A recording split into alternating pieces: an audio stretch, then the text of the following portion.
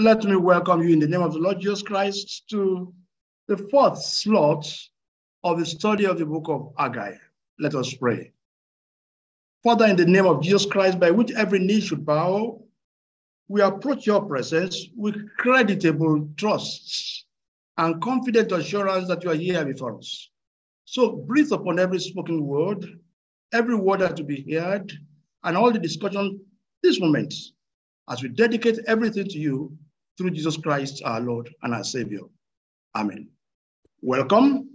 We have just two, we have just nine verses of scripture to read from the second chapter of the book of Haggai, a two chapter book. In the seventh month, on the 21st day of the month, the word of the Lord came to Haggai the prophet. Speak now to Zerubbabel, the son of Shealtiel, governor of Judah, and to Joshua, the son of Jehozadak, the high priests, and to all the remnants of the people, and say, Who is left among you that saw the house in its former glory? How do you see it now? Is it not in your sight as nothing? Yet now take courage, O Zerubbabel, says the Lord. Take courage, O Joshua, the son of Jehozadak, the high priests. Take courage, all you people of the land, says the Lord. Work, for I am with you, says the Lord of hosts, according to the promise that I made you when you came out of Egypt. My spirit abides among you, fear not. For thus says the Lord of hosts once again, in a little while, I will shake the heavens and the earth and the sea and the dry land, and I will shake all nations, so that the treasures of all the nations shall come in, and I will fill this house with splendor, says the Lord of hosts. The silver is mine, and the gold is mine, says the Lord of hosts. The latter splendor of this house shall be greater than the former, says the Lord of hosts. And in this place I will give prosperity, says the Lord of hosts. This is the word of the Lord. Thanks be to God. Those nine verses of scripture, they are talking about one theme that we want to examine within the scope of half an hour or so. In the eagle's ascent of God's blessing. The eagle is a bird of prey with very good eyesight and soaring ability. It can go between 10,000 to 20,000 feet above sea level, higher than domestic flights. And you can, ascent is an, uh, is an act of climbing or going up. So we are talking about being in eagle's ascent of God's own blessing. And when God decides to bless you, is is an act of asking or receiving divine favor, protection. It can be, it can be multi-potential. By way of introduction, through the prophet Jeremiah, the return of Israel's captives would happen. Jeremiah said it long ago. God inspired it to be tagged with the temple's construction, for which the second returnees by default attracted God's reactive judgments, coded statements. God decided to send Cyrus when they were foot dragging, God judged them for about, you know, after, after waiting for them for about 16 years. So this study is focused on issues of God's blessings when all is well between him and his elect in the eagle's ascent of God's blessing. See this splash of recordings you see, a timetable of interactions between God and the Jewish returnees around 520 BC could be summarized in the following clips. It happened around 520 BC, precisely in the 1st of June. God's message to the people will be assessed.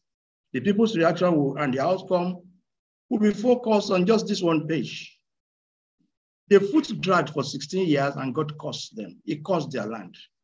He said in chapter 1, And I called for a drought upon the land, and upon mountains, and upon the corn, and upon the new wine, and upon the oil, and upon all that which the ground bringeth forth, upon men, upon cattle, upon all the labor of your hands.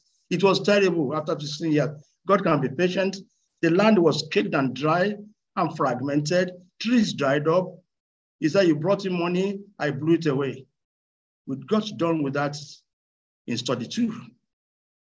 But we are now coming to people's reaction.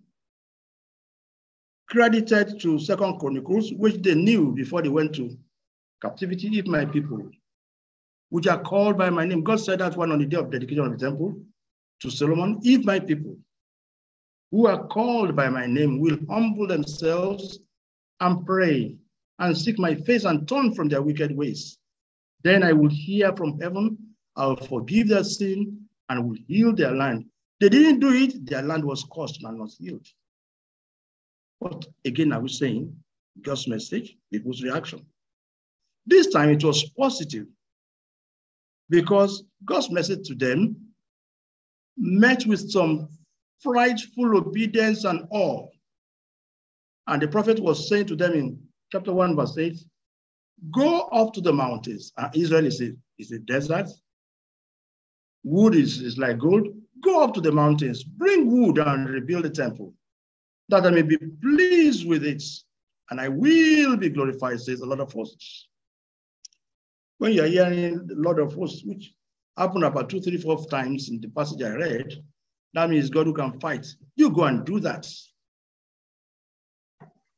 Some people call it projects Haggai 1.8. Go. Somebody once said, the Holy Spirit is a counselor, he's not a doer. The Holy Spirit, the Spirit of God will persuade you, he will not do it for you. Go. He's not a doer, he's a, he's a counselor, he's an advisor. Go up. So Project Haggai 1.8. But as soon as God saw their hearts, as soon as God saw their penitence, he helped out. We are still talking about fruit yielding obedience to God. Haggai 1 14, 15. So the Lord stirred up the spirit of Zerubbabel, the governor.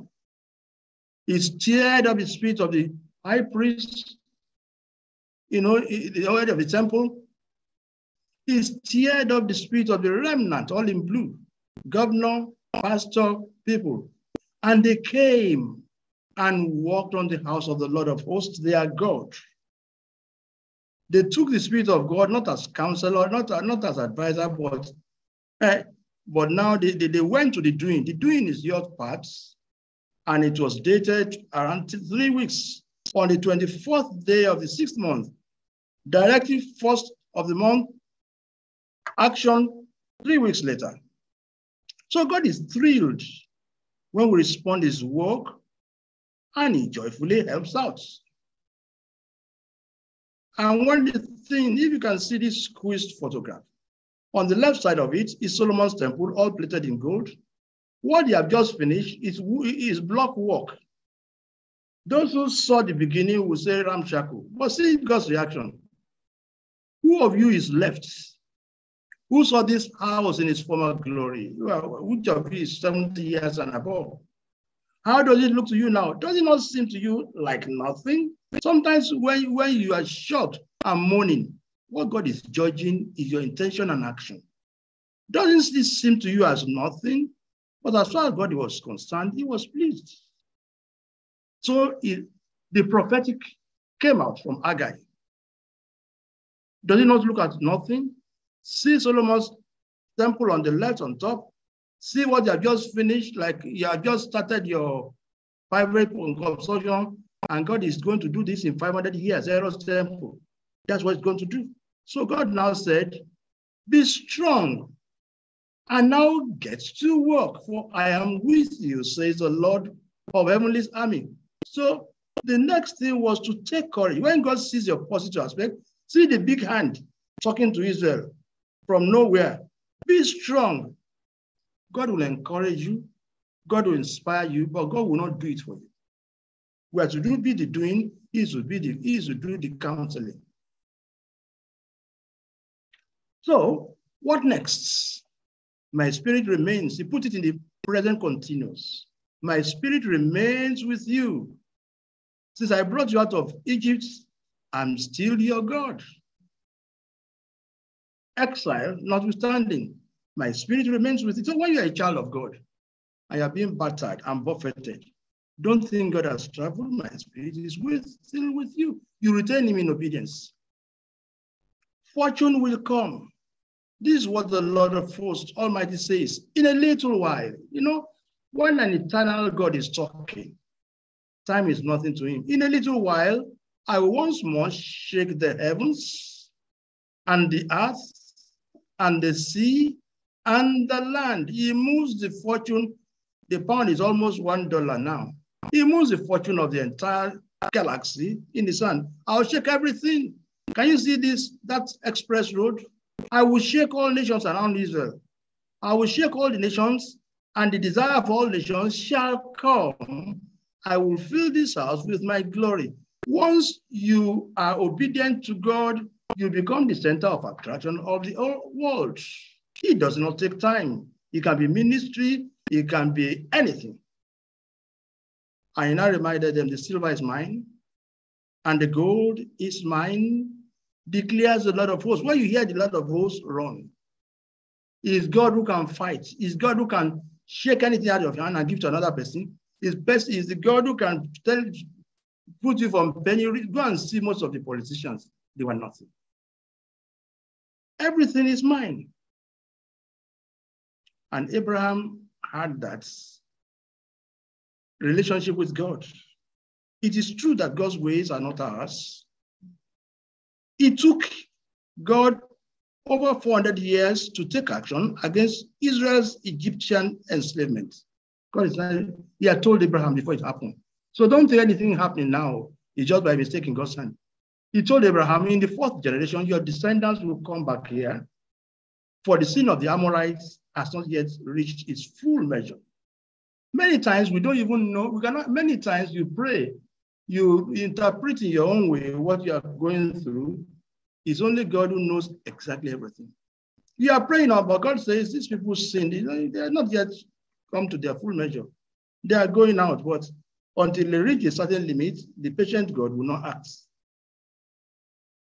And it did happen in Exodus 12 40. The time that the sons of Israel lived in Egypt was 430 years. That's the fourth generation. And at the end of 430 years, to the very day, to the very day, not one day after, all the hosts of the Lord went out from the land. He is able to do it. My Lord is able, is able, is more than abundant able. Let's come to Jeremiah's prophecy. And Jeremiah in his time was saying, This whole land shall be a desolation. They couldn't believe it. They, were, they, were, they, they thought somebody had bribed him from Babylon. It shall be a desolation and an astonishment. And this nation shall serve the king of Babylon 70 years. When he preached holiness and things, they will not answer him. The bombshell came.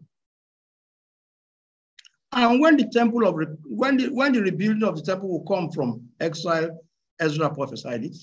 So the elders of the Jews continued to build and prosper under the preaching of Haggai and the prophet Zechariah. These are the two people. We've done Zechariah. They finished building the temple according to the command of God of Israel and the decrees of Cyrus, one emperor, Darius, one emperor, Artaxerxes, king of Persia. It took three emperors to get it to the limits. And Zechariah 4 6 says, Not by might nor my power, but by my spirit, says the Lord of hosts. When you become, the closer you are to God, the more humble you become. You can never tell how you do anything.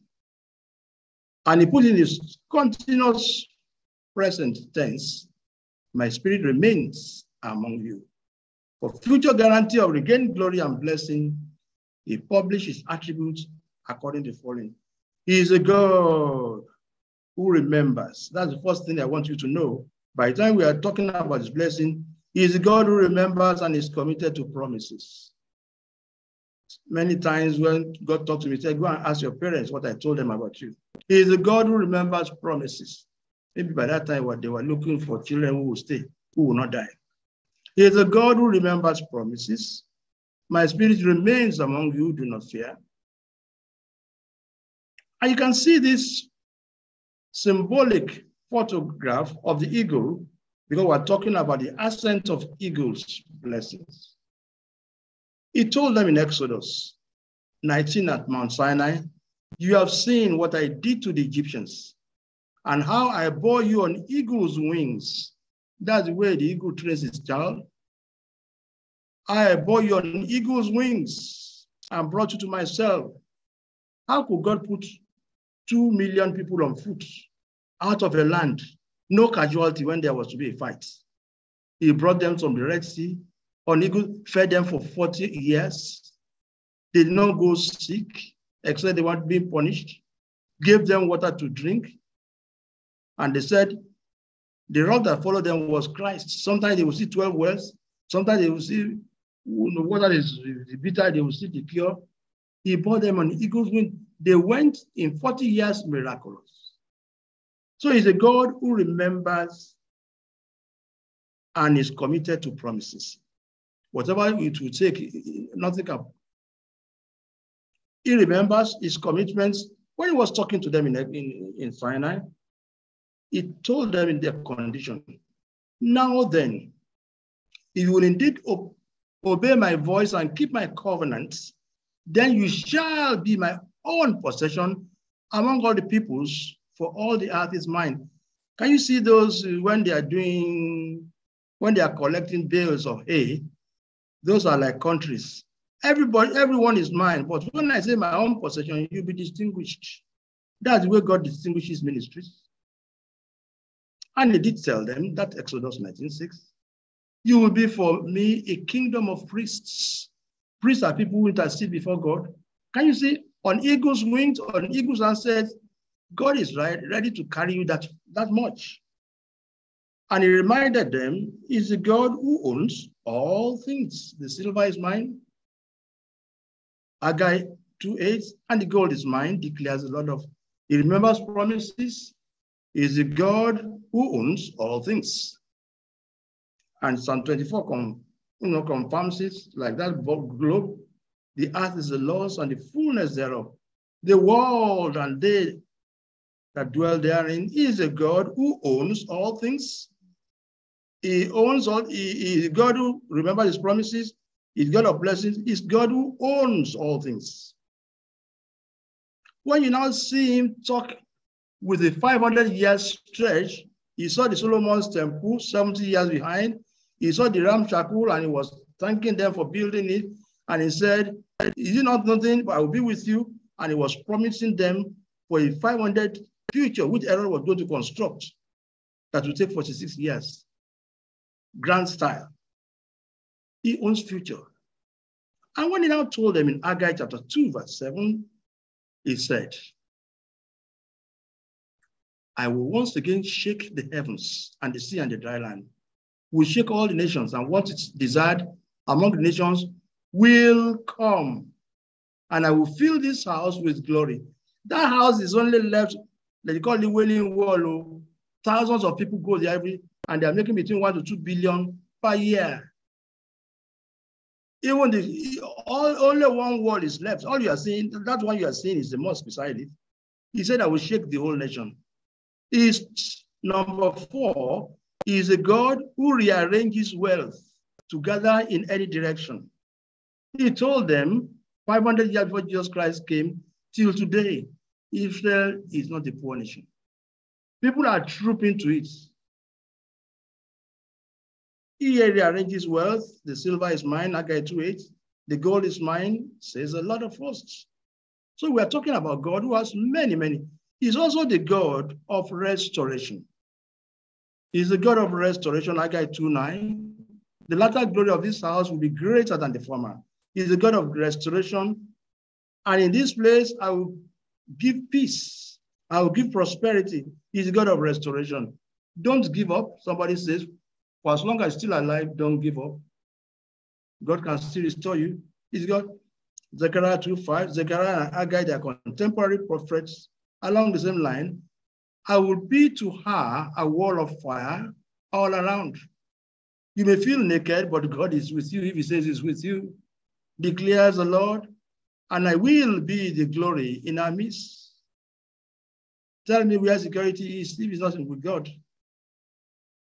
And when Isaiah was prophesying about restoration, he even went beyond structures. He talked about Jesus Christ. To us, a child is born. He put it as if it already happened.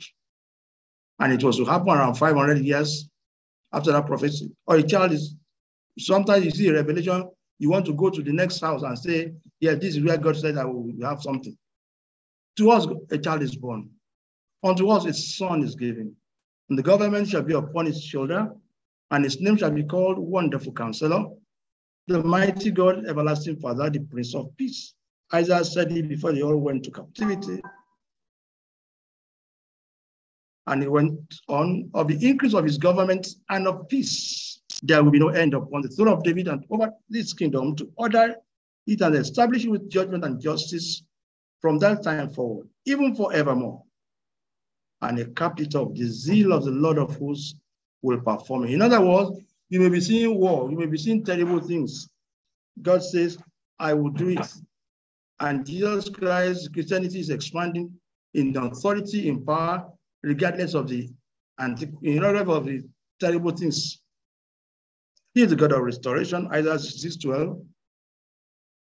I will, I will extend peace to her like a river, and the wealth of the nations like a flooding stream. God promised it through Isaiah, He promised it through Zechariah, He promised it through Haggai. He is still doing it today, and we are all witnessing Israel is not a poor nation. And like our memory verse would be, Haggai 2 9, in this place, I will give peace. He said, I will give prosperity. And when he says, I will give prosperity, he's talking about wealth, he's talking about success, he's talking about profitability, he's talking about affluence, he's talking about riches. When God prospers you, and everything in your hand will simply just do well. The, the, the, the, the, the, opposite is the thing never to hope for or pray for. Now let's come. Let's change gear. To get to the level of God's ascent, to get to God's blessing ascent, you need waiting upon him in obedience. It doesn't come like that. Too. To now say, I, I promise, I, I promise it, I, I catch it, I catch it. It does not come like that. Oh. Too is a conditional thing. See the eagle's wing that can span eight feet. It's only those who wait. Oh, oh, oh. It's meant for those who are ready to wait upon him. Those who wait upon the Lord will renew their strength. They will soar on the wings like eagles. They will run and not grow weary. They will walk and not be faint very, very conditional. The general conditioner is those who wait for the Lord, those who trust in the Lord. They say like be like Mount always parallels of heights. In the eagle's access of God's blessing, we're now becoming more personal. Have you discovered this God of blessings? Isaiah 62 says, I've created all the world, but this is the man to whom I will look those who are humble and contrite in spirit, who tremble at my word. Some of us, we, we dare him. Somebody will say, I will pray and fast. I know God will forgive me. That's not how to be a Christian. How have you discovered this God of blessing? In the eagle's ascent of God's blessing, personally, asking you once again as we come to the two thoughts through before discussion. Have you discovered this God? We're talking about the wide road where everybody is going through.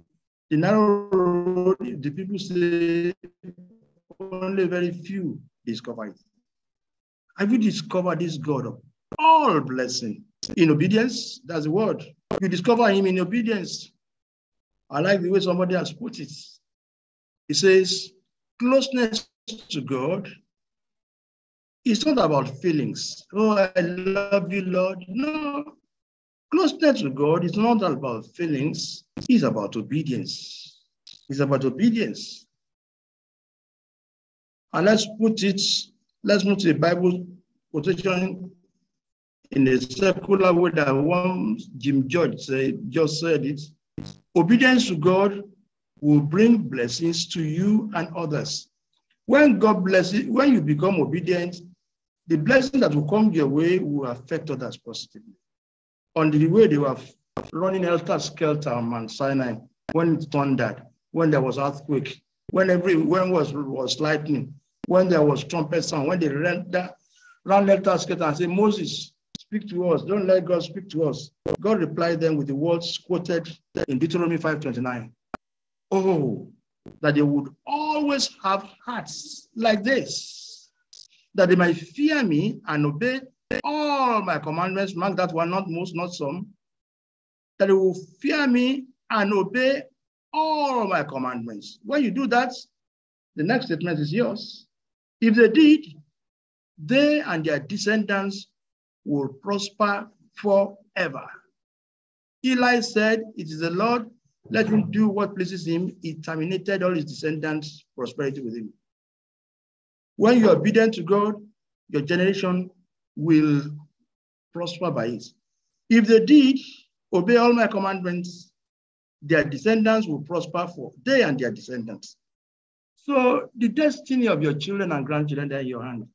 If you mess up, they will cry when you have gone. And not only the third and fourth generation. One rabbi, that's name, looks more like uh, German. One rabbi, Craig Ashback, puts it in the figurative. Obedience is the key to God's heart. When you can obey, wow, you have the key to God's heart. He will just he will just relate with you as if as if you are the only one who knows his weakness. Before you ask, he will answer. When you are very he will hear. Obedience is the key to God's heart. If you obey small, you disobey small, eh, the revelation says, I will push you out. Courage, brother, do not stumble. Though your path, you see, you cannot see what courage we need. God can tell you, follow me, and where he is going, there doesn't seem any any any any, any support. Let me sing the, the first verse to you. Courage, brothers, do not stumble. Though your path be dark as night, there is a star to guide the humble. Trust in God and do the right. Oh, you need to know what it means to obey God. God will say something as if it's a suggestion. God does not have a suggestion, he has a directive. He's only children of God who will be taken to heaven for a glimpse and say, God, I don't want to do that. He just will shut up. We don't disobey here. Can you see as if you are, that's the way Christianity is, my dear brother and sister? It's like you are walking on a rope of 30 meters. You respond to ovation, you crash. You respond to booing, you crash. Follow him, he's tough. And when it just guys, whoever will gain his life will lose it. Whoever will lose life for my sake will gain it.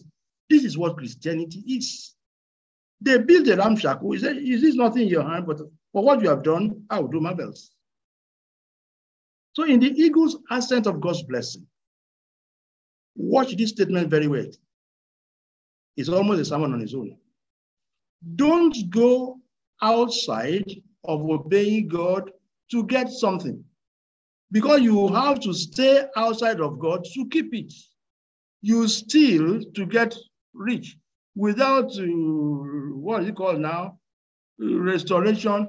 You, you, you, you, when you get something outside God, you will not be able to retain it except outside Him. It's like some people do this thing this way.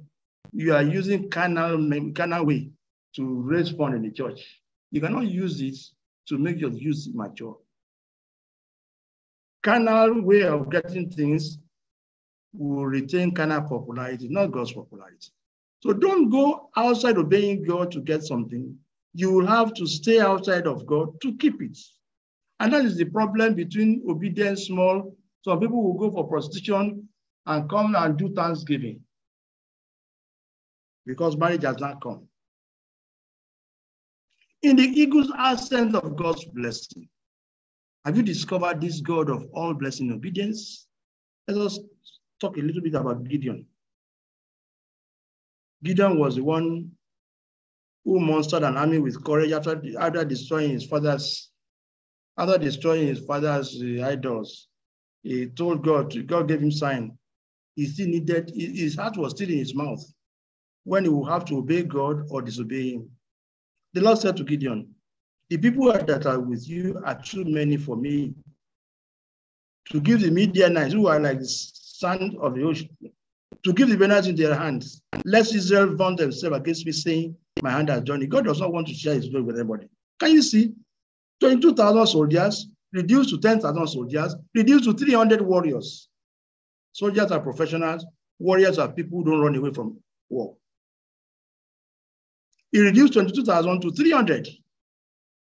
Now announced to the army, anyone who is afraid can turn back and go, can leave Mount Gilead. So 22,000 men left, while 10,000 remained. If you're afraid, go. Hey, thank God. Though. Like Russian compulsory army. And the Lord told Gideon, there are still too many with these 10,000. Bring them down to the spring, and I will test them to determine who will go and who will not. Then Gideon took his warriors down to the water. The Lord told him, divide the men into two groups. In one group, put all those who cup water in their hands and lap it up with their tongues like dogs. In another group, put all those who kneel down and drink water with their mouth on the stream. He got 300, yeah? And the number of them that lapped, put in their hands, who used their hand as cup, they were 300. But all the rest, who drank like dogs, they go. What is he saying? Can you not see? With this 300, the mighty God is too wonderful. The war was in the night. Thousands, if not close to million, were the Midianites. And yet the three complaints, he divided them into 100 in three directions, giving them lights, giving them trumpets. And they shouted a sword for the Lord and for the Gideon and stayed there with their lights and trumpet. That was the signal that heaven needed. And when they, they blew the trumpets, the Lord said the sword of one against another. Even throughout the whole army, they just started killing themselves. They did not know where to go to. Night. The army fled as far as all those one Beth-shittah towards Zerah, as far as the edge of Abel-meholah by Tabbath. Those things mean something, but I will show you the map. That's the way they fled. The red light, the red arrow. But see where it all happened. Up there, around Jezreel Valley, was where, where the red is. That was where the 300 armies were. Up there, Asher, Zebulun, Naphtali, Manasseh, the tribes that surrounded them, they have told them to go back. And the military from Ophrah, Jezreel Valley could only go down. Midianites were running down Beth-shittah, Abel-meholah. Ephraim stood against them where you see that Gemetra and the army split into two. Some could not go beyond. They started killing them there. And when they got to Karkor, the military was, everybody now, the whole nation was chasing them. Imagine millions of soldiers who have nowhere to run to. Those who had now gone home, everybody was on killing them along the way. That's the God of battle. How he would do it, you never could. But this is the only way I know. In the eagle's ascent of God's blessing. It's good to be on his side. So be one of Gideon's 300 men. Be one of them. Have you discovered that God of all blessing of the obedience is obedience that opens the padlock that the enemy has locked you against. First Chronicle 15. And it shall be. That's another battle where, where David went to. He gave him a sign. He said, You don't move. But when you hear the marching, have you ever seen marching army on top of trees? In the tops of mulberry tree, poplar trees, then you shall go out of for battle. For God has gone out to you to strike the host of Philistines. He did it. This is the splash of frame. On the left, you can see Manasseh, Ephraim, you can see Benjamin. It happened around Benjamin. And facing towards your right down, David did just as God has commanded him, and they struck down the army of the Philistines from Gibeon. You see on, under Benjamin, you see Gibeon as far as Gezer. They were just killing them, Kiriath Jembala. When you see the little Benjamin in the middle of Israel, when you see how you, you listen for marching of soldiers on top of trees, God will give you something like looks, that looks foolish. Many times, He will make you take decision that the whole world will say you are mad. What He needs to get out of you is obedience. Leave the rest to Him. How about Jehoshaphat in Second Chronicles 2020? Second Chronicles 2020. They left for the desert of Tekoa. And they set out, Jehovah stood, said, Listen to me, Judah, and people of Jerusalem. Have faith in the Lord your God, and you will be upheld. Have faith in the prophets, and you will be successful. It can be a hard thing to depend on what God is saying because God has a way of saying foolish things sometimes.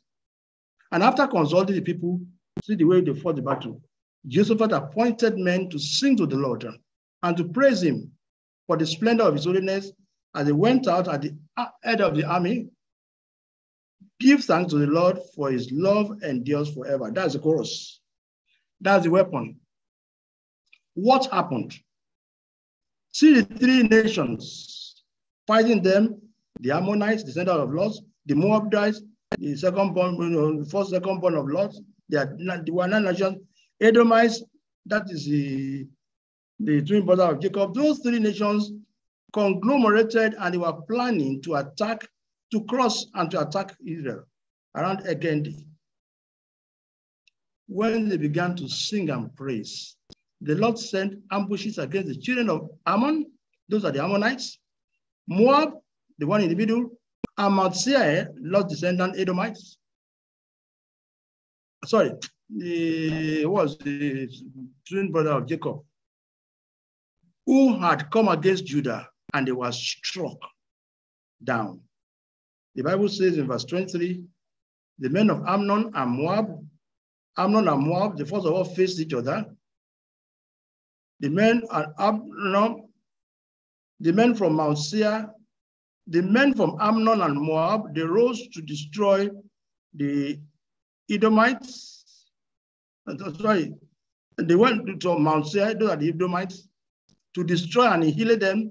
After they have finished slaughtering, the men from Seir, they helped to destroy one another. They faced themselves. Sometimes, I don't know if you remember how much we have been surrounded, will have been slaughtered.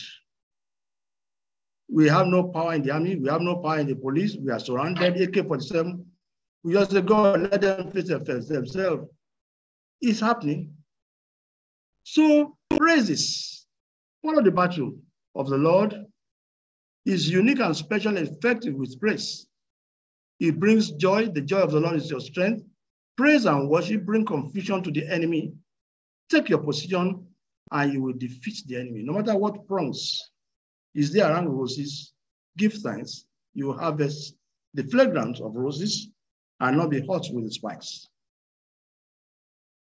In the eagle's ascent of God's blessing, still a personal question. Have you discovered God's blessing in obedience? Second Corinthians, Second Corinthians 10, 4 and 5. The weapon of our warfare, they are not carnal, but they are mighty in God, in God to the pulling down of strongholds, casting down arguments and every high thing that exalts itself above the knowledge of God, bringing everything, every thought into captivity to obey Christ. What is the weapon of warfare? Most of them is the word of God. When you're speaking the word of God from, eh, can you see this, this diagram, this photograph? The only weapon to overcome Satan and his demons, the word. Luke 19, Luke 10, 19, I've I've, you know, he said, I've given you power to tell about sapiens. In all things, God gives thanks, Romans 8 28. First Peter, be sober, be vigilant. When you are examining scriptures, these are the canons. Especially when you're a child of God, they are like fire. So before we start discussing, The Bible is saying, when your obedience is complete, is when God will take action. God is ready to avenge you, to avenge all disobedience against you when your own obedience is fulfilled. Is the way God has. And with this, Herod's temple that came 500 years later, our memory verse is like 500 years vision. The latter splendor of this house shall be greater than the former, says the Lord of hosts. And in this place, I will give prosperity. In other words, I'll give wealth, I'll give success, I'll give profitability, I'll give affluence, I'll give riches, says the Lord of hosts. In other words, he has a power of, he has a power of ability to make it come true. When he has a lot of hosts, he does not need any power outside himself to make it come to pass.